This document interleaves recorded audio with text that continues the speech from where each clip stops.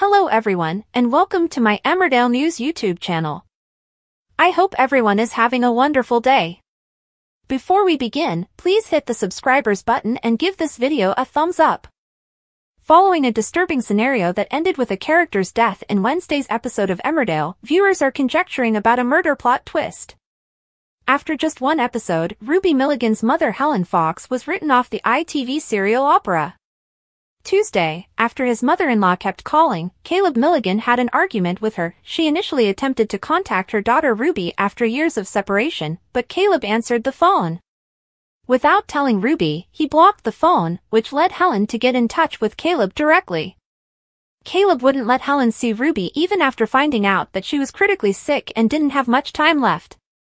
He wanted 100,000 pounds to tell Ruby the truth because Helen wanted to make amends before she died.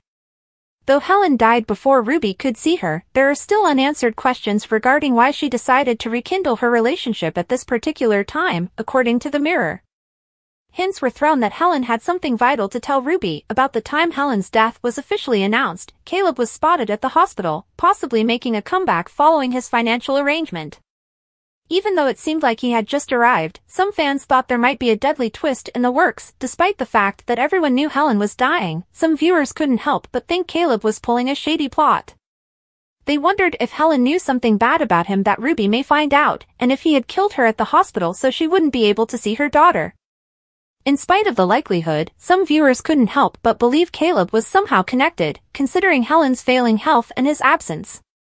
On social media, one viewer asked, why do I get the feeling that Caleb is behind her mum dying?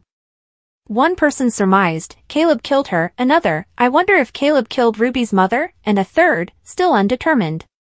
1. Cain and Charity look for Belle. Next week, Charity and Cain will be shocked to learn the truth about Belle's abuse in her marriage to abusive Tom. But, as they rush across the nation to help her, will it be too late? Since learning that Belle had aborted their child, Tom has increased the intensity of his oppressive control over her.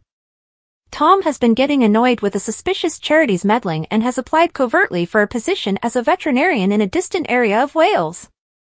In tonight's episode, Tom guilt-tripped Belle into accepting an impromptu holiday at the Welsh cottage he had shown her a few weeks prior, and the two quietly left the village after learning he had been granted a second interview for the position.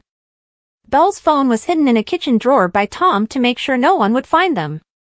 When Charity learns of the job interview through the gossip in the village and that Tom and Belle have already left without saying anything to their families, she becomes quite worried. Charity, who is experiencing severe anxiety, goes to Cain to discuss her worries. She mentions that Tom's behavior reminds her of D.I. Mark Bails, Rocky Marshall, the abuser she experienced. Emma Atkins told Every Soap at a recent press event that very subtle things are going on. However, I believe Charity recognizes the warning signs because she has endured abuse at some level from some of the people she has dated, most notably Bails, during the previous 20 years. She's had her eye on him, and he seems like a fascinating character. She notices that Belle has abruptly changed into a shadow of her previous self. When Cain can't seem to get in touch with Belle the next day, he starts to question whether Charity is right. According to Jeff Hordley, Tom has been really clever in the way he operates, and he's masking everything that's going on really well. Cain is clueless and doesn't sense that something is wrong with Tom, Charity is the one who makes him aware of this. Charity is shocked to discover how much security Tom has in place when she and Cain decide to break into Dale Head to look into Belle's missing mental health visit. Charity discovers Tom's budget book, a peculiar document in and of itself, in which he recorded the address of the Welsh cottage. The concerned couple then make the hasty decision to head to Wales after finding Belle's phone concealed away. However, they are taken aback by what they discover when they do go to the cottage that evening. There is blood on the door and the place is completely wrecked. What took place? Jeff says, Charity can sense trouble, but I don't think Cain quite believes it until he gets there. Even when he drives there, he's still not sure if they'll show up. Belle and Tom will be overjoyed, and will be like, oh, okay, hello. 2. Belle's horrifying experience is disclosed. On Wednesday, there will be a special flashback episode in which we go back four days to the time when Belle and Tom arrived at the cottage. At first, their holiday appears to be cheerful as they both look forward to getting to the cottage with their dog, Piper. However, Belle is mad at herself for losing her phone. But as time passes, Tom becomes more manipulative, and Belle becomes perplexed when she hears him talking on the phone about extending their stay at the cabin. We can assure you that this episode will be quite intense as Belle and Piper find themselves at the whim of a violent Tom, and their initially nice trip quickly turns into a genuinely frightening ordeal. The perfect cottage setting was easily found by the cast and crew, they didn't even have to leave the estate. The farm known as BWTHYN Athlone in the program is actually Burton Head Farm, which is located at the entrance to the Emmerdale Village's private access road. According to Gillian Slight, head of design for Emmerdale, the location is actually part of Emmerdale's village complex, it's on the outskirts and hasn't really been seen by viewers so it's believable that it's a property 300 miles away from the Yorkshire Dales. The team had a blank canvas to design the ideal Welsh getaway in the newly constructed cottage from the previous year. We were free to furnish and decorate the inside and outside of the building because we have complete access to and control over it. The garden needed landscaping and planting to make it seem nice because it was really just a pile of construction debris. The entire project took roughly four weeks to finish. The building took the place of a similarly shaped cottage that had been demolished on the same plot. Longtime viewers may remember the back of that house as the third and last iteration of Emmerdale Farm, which aired from 1997 to 2002. The rear of the newly constructed cottage in 2024, Google, slash left, the previous cottage as it appeared on TV in 2000, ITV. The barn across the yard, where adoptive son Andy, Kelvin Fletcher, ignited the fire that accidentally killed Sarah Sugden, Alyson Spiro, is now visible on screen as one of the butler's barns, where Tom was electrocuted and Minty the lamb died recently. In another scene, Mandy, Lisa Riley, is having a hard time making ends meet in the salon and it seems like things are getting close to breaking point. The fact that Sarah and Paddy, Dominic Brunt, have to pay for their impending wedding and that Paddy is blissfully ignorant of his fiancée's problems doesn't help the situation. Mandy ultimately tells Rhona, Zoe Henry, her new drinking companion, the truth, but she can't bring herself to tell anybody else. Later in the week, as her concerns get more intense, will she be able to tell Paddy the truth or will she instead devise a new plan to make some money? 4. Billy tells Dawn up at home farm that Rose, Christine Tremarco, has surprisingly prevailed in her continued effort to ruin Kim's, Claire King, life even though her plan to drug her ex-husband Will, Dean Andrews, went terribly wrong this week.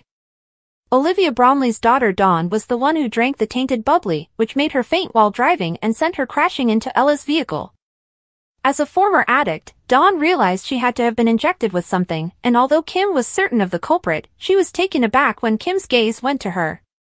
Kim tried to reassure Dawn that she would never do something like that now that they are family, after Dawn said that it wouldn't have been the first time she'd pulled off such a ruse, alluding to the time Kim had tried to drug her back in 2021. Rose was quick to twist the situation when Kim's lack of motivation was called into question. She said that Rose had been the intended target and that Kim had wanted to get rid of her. Will and Dawn came to an agreement, while Billy, Jay Kontzle, chose to support Kim. Dawn would still find it hard to believe that Kim would turn on the family the following week, especially because it was Kim who broke their bubble and brought illness into the home, forcing Evan back into the hospital. Billy feels very bad about himself now, since he was the one who did the wrong thing that time.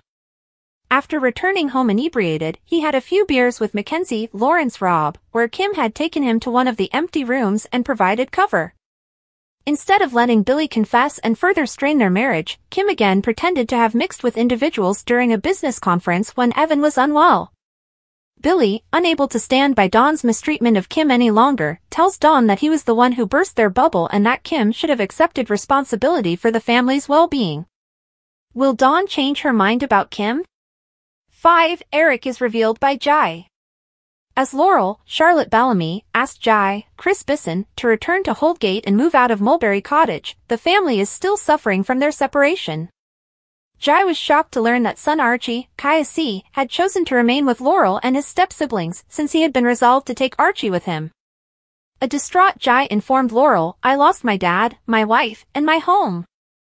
Suni won't have anything to do with me. And now you also have my son.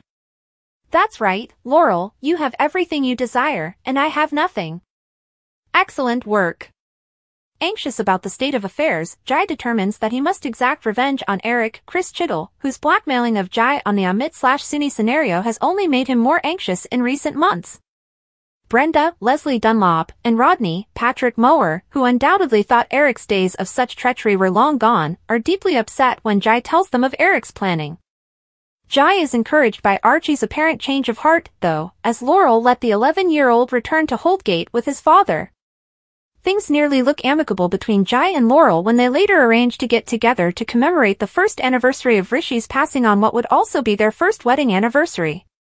Is there worse to come for Jai and Laurel, or will they be able to put their disagreements aside and continue to be friendly even after they separate?